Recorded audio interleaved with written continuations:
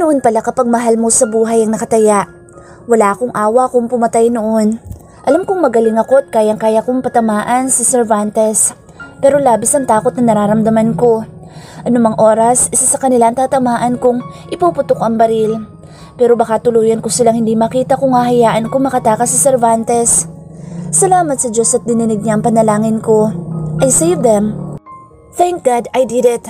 Kaya kailangan kong tuparin ang mga pangako ko. Isa-isa kong pinutol ang underground business ko. Nagbawas ako ng mga tauhan at binahagihan sila ng malalaking halaga bilang pasasalamat sa pagiging tapat nila sa grupo at lalo sa akin. Maging si Nanay Lena at iba pang tagalinis sa isla ay siyang ginawa kong tagapamahala kapag wala kami sa isla. Si Joy naman ay binigyan ko ng magandang posisyon sa jewelry business na binuksan ko. Nag-hired ako ng pinakamagagaling na alahero sa Pilipinas na hindi nabibigyan ng pagkakataon na maipamalas ang galing. Alam ko nagkasala ako sa dami ng aking pinatay, pero pawang mga halangang kaluluwa naman sila nasalot sa lipunan kaya hindi ako nakulong. Ginawang lahat ng kapatid kong si Wana. Malinis lamang ang pangalan ko. Malaking tulong din ang mga tumitestigo para mapawalang sala ako. Dumaan ako sa tamang proseso. Kinastigo ako ng batas. Nakahanda ako makulong. Malinis ko lamang ang pangalang Sandro Romualdez. Gusto kong lumaki ang mga anak ko na malinis ako at may pagmamalaki nila. Pero may masamang balita ako natanggap. Hindi namin alam kung bakit nakalaya si Liam Cervantes.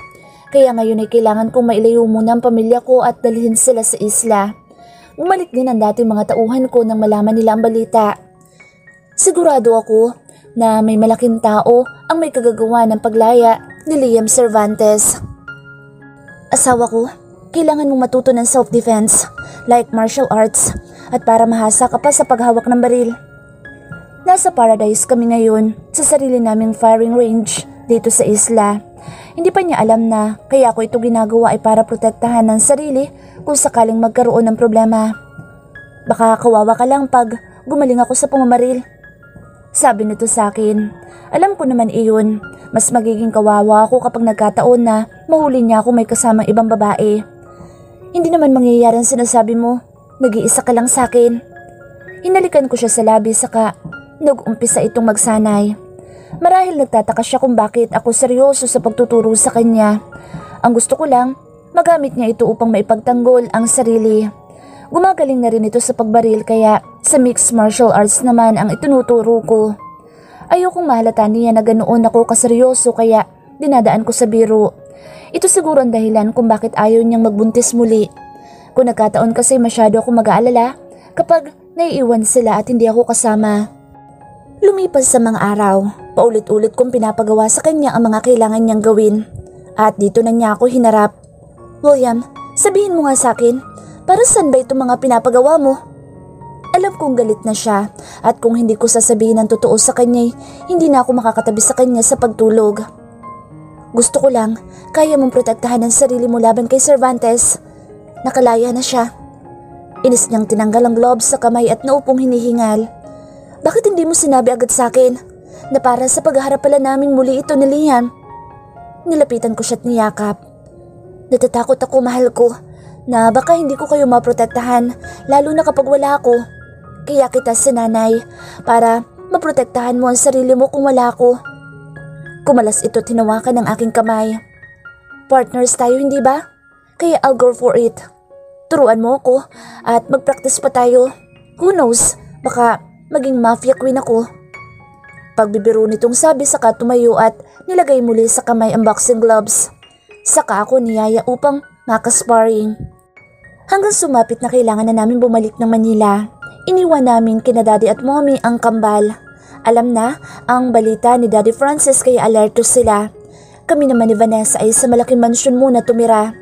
May mga secret weapons at gym equipments kasi ang mansyon na iyon na ipinagawa ni Papa. May duda kami na hindi lang si Cervantes ang totoong kalaban namin. Kaya naging paranoid ako to the point na mas si Jay ay hindi ko pinagkakatiwalaan. Sa mundong ginagalawan ko, lahat magiging posibleng kalaban. Kaya wala kaming pwedeng maasahan kung hindi ang aming sarili. Bumalik na naman ang pangamba at takot sa puso ko nang malaman na nakalaya na si Liam.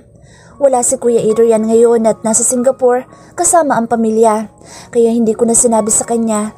Nilisan muna namin ang unang bahay namin ni William at tiniis na hindi kasama ang mga anak namin para sa kaligtasan nila. Alam namin ni William na mas ligtas sila kung hindi namin sila kasama. Hindi pa naman ako gaanong magaling pero sa training na ginawa sa akin ng asawa ko'y masasabi kong kaya kong protektahan ang sarili ko. May daladala akong lisensyadong baril na pinagkaloob sa akin ni William at ni Ate Wena. Alam ng mga daddy namin ito pero walang alam sila mommy. Ngayon ay kailangan kong itigil muna ang pagtatrabaho sa A&A para pumasok sa special training na sinabi sa amin ni Ate Wena. Isa itong grupo ng mga babae na layunin na protektahan ng sarili. Gusto kong magkalisensya at maging ganap na agent kung papalarin. Ayaw sana ito ng asawa ko pero gusto kong gawin kaya wala siyang nagawa. Tiniis kong hindi makasama ang mga anak ko para sa ilang buwan na training at dahil sa bawal si William kaya pati siya hindi ko rin nakita. Buwan sana nga abutin ang training pero isang buwan lang ang sa akin dahil marunong na daw ako kaya nakasabay sa unang batch. Kaya ngayong araw na ang parangal sa akin. Isa na akong ganap na Special Agent 1 at sila ate Wena ay medyo mataas na. Tinawag ang pangalan ko at pinarangalan ng mataas na opisyales ng bansa na kasapi sa organisasyon. Congratulations, mahal. I am so proud of you. Sinabit sa akin ng asawa ko ang medalyon at tsapa ko. Naroon ang mga pamilya namin at mga anak ko. Sekreto lang ang kaganapang ito kaya puros pamilya lang namin ang mga naririto. Thank you, mahal. Niyakap ko siya at tinalikan naman niya ako. Saka nagsilapit sa amin ang pamilya namin. Niyakap ko agad ang aking mga anak na sobrang namiss ko. My princess, brought daughter, I am so proud of you anak. Pagbati sa akin ni dad at hinalikan ako sa noo. The new version of me are born. Wala na ang brat at maarte na Vanessa noon. I can now face all my fears. And also, kaya ko nang sabayan ang asawa ko sa kahit na anong laban. It's either guns or body fights. Dahil nakasanayan ko na na magising na maaga sa camp kaya hindi pa nagbubukal liwayway ay naghanda na ako para mag-jogging. Tulog na tulog pang asawa ko na tila sumuko sa amin kagabi. Ang gabing pinaramdam namin muli kung gaano kami kasabik sa isa't isa. I wore the proper clothes for a jog, but before I go out, I'll make sure that I put my weapon into my body. Ma'am, saan po kayo pupunta? Tanong na ibang tauhan ni William na nagbabantay sa gate nang makita nilang palabas na ako. May permiso ako sa asawa ko. Gusto mo ba nagisingin ko siya? Nanlaki ang mga mata nito tuluyang binuksan ng gate. Bago ako nagsimulay sinakbit ko muna sa akin tenga ang bluetooth earphones saka pinindot ang play sa smartwatch na suot ko. Nagsimula akong tumakbo. Masyado pang maaga kaya wala pang gaano akong nakakasabay at wala pa akong nararamdaman sa paligid ko.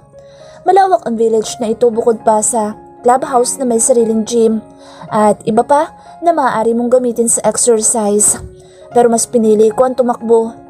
Lumipas ang higit 30 minutes ay huminto ako muli sa clubhouse para kumuha ng maiinom. Nakalimutan ko kasi magdala. Tahimik ang paligid at wala din akong nakita na crew na nagbabantay sa clubhouse kaya nakaramdam na ako ng kakaiba. Alam kong hindi lang ito nagkataon. 6.30 pa lang ng umaga at papasikat ng araw. Dapat ay maiilan na rin ang mga tumatakbo sa ganitong oras pero ngayon ay wala akong makita. Matapos kong maisang lagok ang bote ng maliit na mineral water ay may napansin akong taong palapit sa akin. Mula na mag-training ako ay isa sa pinag-aralan ko ang talas ng pakiramdam. Kaya saktong pagtapon ko ng empty bottle ng tubig ay mabilis kong hinubad ang suot kong jacket at walang babalang pinulupot sa pagmumukha ng taong may kung anong pakay sa akin. Pagkatapos kong takpan ng kanyang mukhay, itinaas ko ang kaluwang paa upang sipayin ito sa tagiliran, saka pinilipit ang kamay nito tuluyang matumba. Ouch! Asawa ko ako to! Sabi nitong namimilipit sa sakit dahil sa kamay niyang hawak ko. William naman! Napapailing ko sabi, saka siya pinakawalan at bahagyang sinipa sa paanan nito. Pinulupot ko ang jacket na suot ko, saka ako nakangiting tulungan sa William. Wow, I'm impressed mahal ko. Sabi nito, hinapit ako sa bewang at hinalikan ng mabilis sa labi. Mr. Romualdez, alam kong matinik ka, pero may laban ako ngayon kaya mag-iingat ka. Sabi ko, tinalikuran siya. Gustong gusto ko naman yun asawa ko. Natalo mo kaya ako kagabi? Habol pa nitong sabit sa nabayan ako sa pagtakbo. Naging daily routines na namin ng mag-asawa ang pagtakbo araw-araw sa tuwing umaga at mag-gym pagkatapos sa loob ng bahay. Naglalaan kami ng oras sa bawat araw upang mas lalo pang palakasin ang aming pangangatawan. Wala namang nangyari nakakaiba kaya back to work na ako ngayon.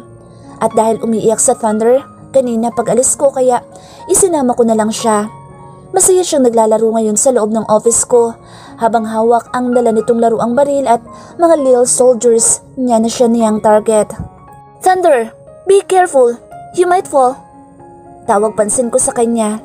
Nakadapa kasi ito sa sofa at nagkalat ang maliliit na sundalong laruan na siya niyang paboritong dalhin kung saan.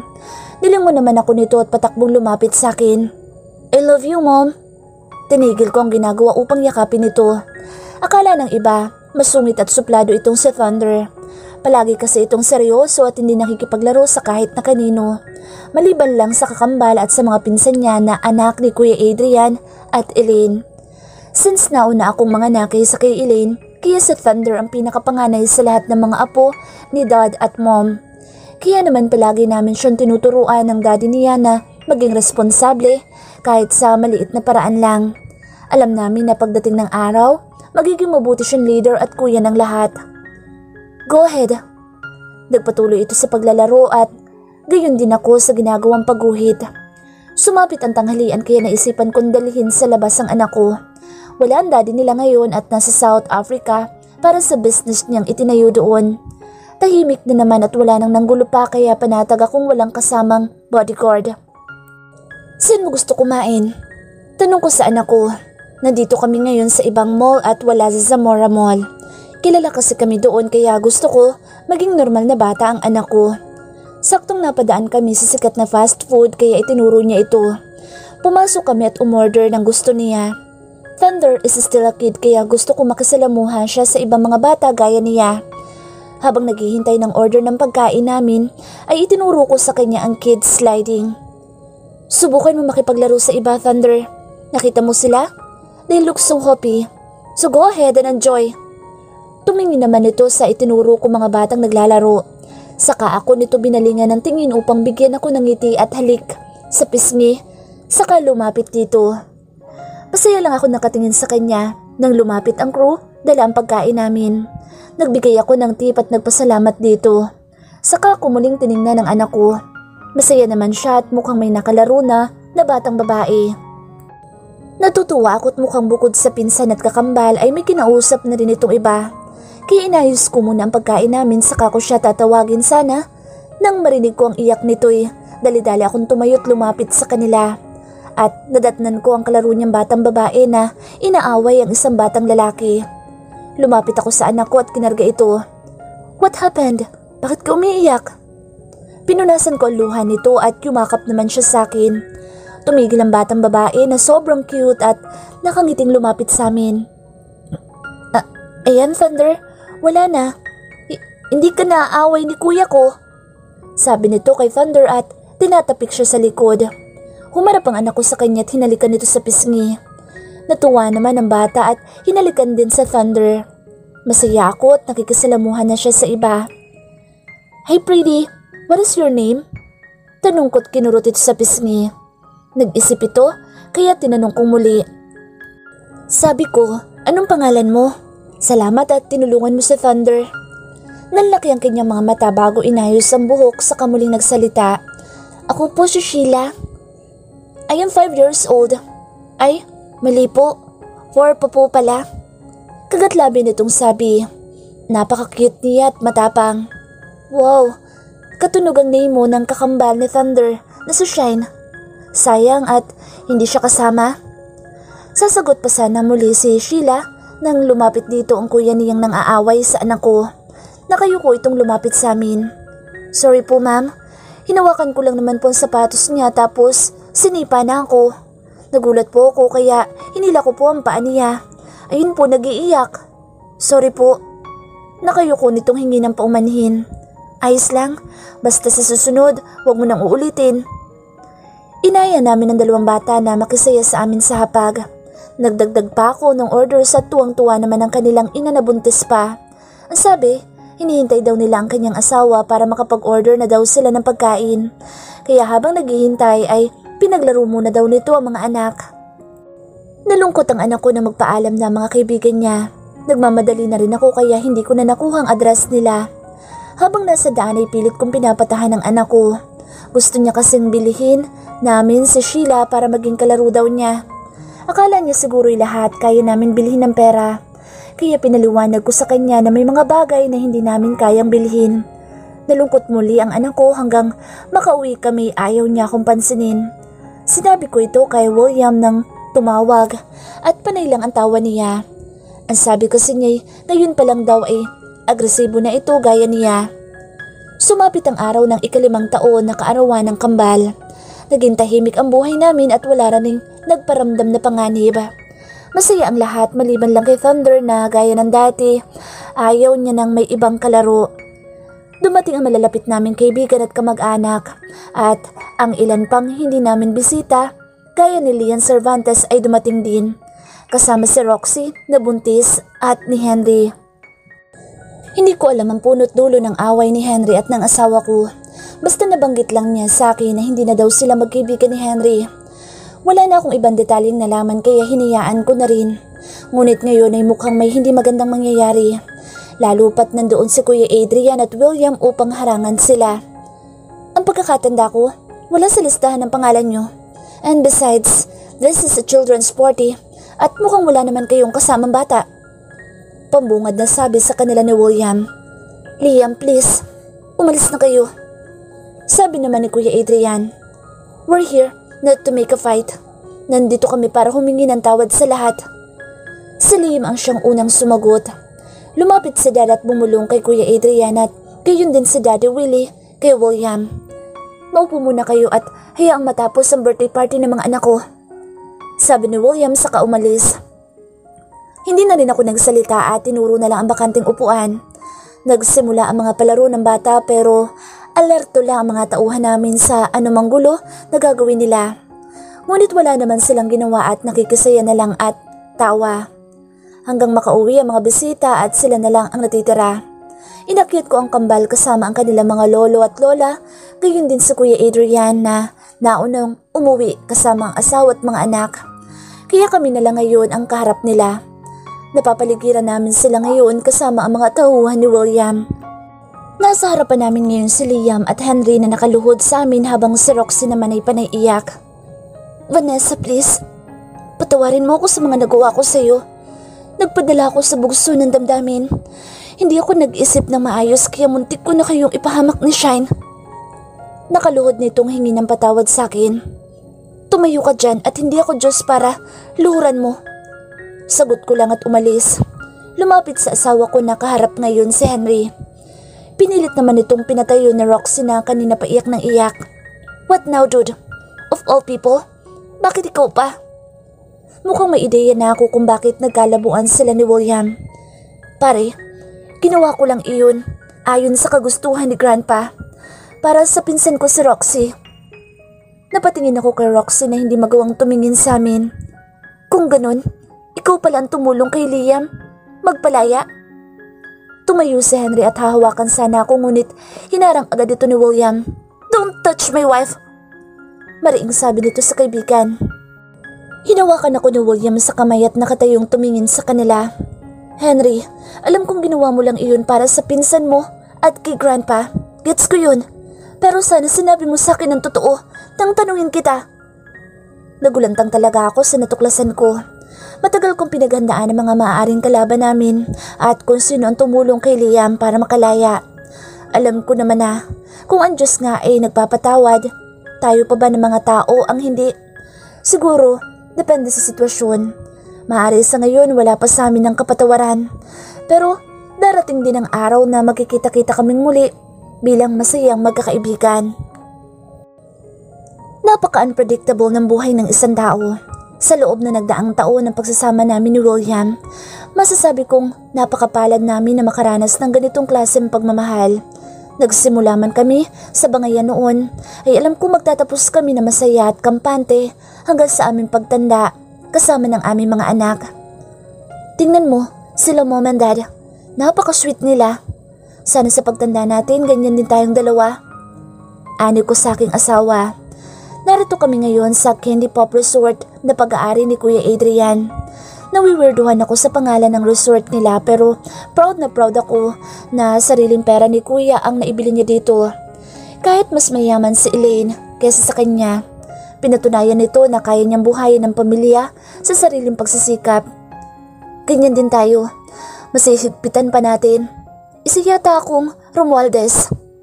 Sagot din ito. Nasa single couch kami ngayon habang pinapanood ang mga anak namin. Maya-maya napatingin muli ako kay mom and dad at nakita ko silang para mga batang naghahabulan. Ang cool nila Daddy Francis. Pagtanda ko, masihigitan ko pa sila sa kasuitan ni Daddy at gagawa pa tayo ng menopausal baby. Hirit pa nitong sabi sabay pisil ng aking pisngi. William, ano ba? Saway ko't kinurot ito sa tagiliran. Kinaliti naman ako nito hanggang sumuko ako at may ihina sa kakatawa. Oh, wala na rin naman si Adrian. Maya may sabi nito. Abala ang mata ko sa mga anak namin na naglalaro kasama si Jana at Jacob. Naroon din si Edward na siyang bagong miyembro ng pamilya. Ako na may hindi pa rin nagbubuntis. Tama na muna sa amin ang kambal. Ano naman kung wala na sila? Kunyari hindi ko alam ang ibig sabihin nito. Wala na sila daddy, nasa taas na. Si Adrian at Elaine din. So tayo naman. Sabi nito. At wala na ako nagawa ng buhatin niya ako na parang sako at dinala sa nakatalaga naming silid. William, baka hanapin tayo ng mga bata. Kunyari ay saway ko sa kanya. Patagumpay naman ako nitong naipasok sa kwarto namin at inihiga ng marahan at pumatong sa akin. Baka hanapin tayo ng mga bata, lalo na si Shine. Sabi ko, huwag mo munang intindihin ng mga bata. Hindi ako magpapatalo kay Dad at kay Adrian. Sabi nito, ano pa nga ba magagawa ko?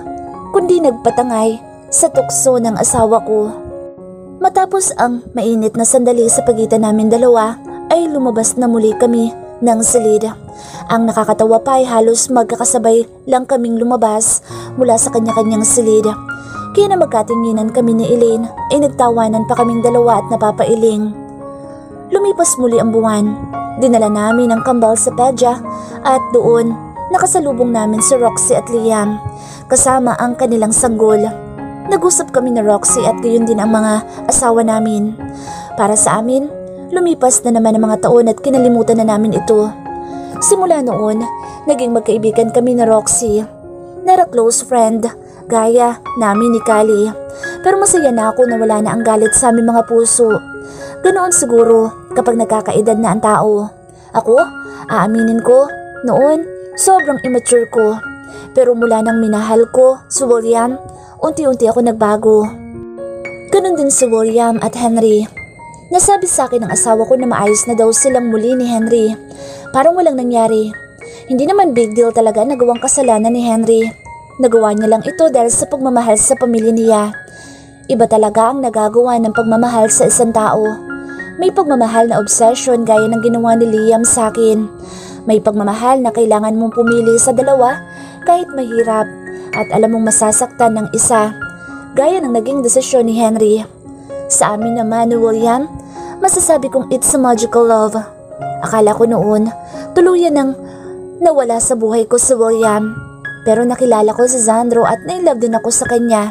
Hindi dahil kamukha niya ang asawa ko si William, kung hindi dahil nakilala siya ng puso ko. Kaya nagmahal man ako ng dalawa, ngunit iisang tao lang naman. Magkaiba lang ng personalidad. Iba si Zandro. Mas agresibo kasi ito kaysa kay William. Pero masasabi kong iba naging karanasan ko sa kanya bago ko napatunayan na siya din pala si William na asawa ko. Si William naman ay romantiko. Sobrang malambing kaya kahit sino mamahalin ng isang William Zamora. Ang dalawa kong asawa na nasa iisang katawan ay as Vanessa Harlet Miranda. Second among my siblings and the brought daughter of architect Francis Miranda and Angela Valdez. Masasabi kong napakapalad ko na mabiyayaan ng mga magulang na gaya nila. Hindi lang dahil sa material na bagay na kaya nilang ibigay sa amin, kundi ang pagpapalaki nila sa amin bilang magkakapatid. Marami man kami na iparamdam sa amin nila mom and dad kung gaano nila kami kamahal, lalo na sa dad sa akin. Kaya siguro naging spoiled ako in a nice way. Brat lang naman ako noon dahil kay William na iniinis ako palagi.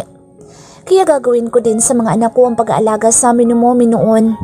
Mas bata siya sa akin pero nagampanan niya ng maayos ang pagiging ina nang hindi gini-give up ang pangarap niya kaya lumaki at lumago ang A&A. Hindi ko man mapatayan si mommy pero pipilitin kong abutin ito sa abot ng aking makakaya. My name is Vanessa Harlet Miranda. Signing off as of now. Pansamantala lang naman, narito pa rin naman kami ng asawa ko upang gabayan ang buhay ng aming dalawang anak. Mm-hmm.